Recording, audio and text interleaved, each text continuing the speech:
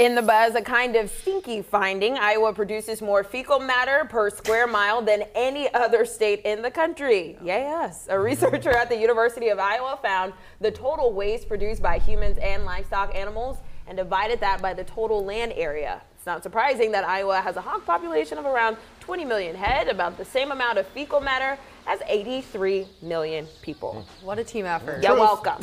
Truth. Yeah, true.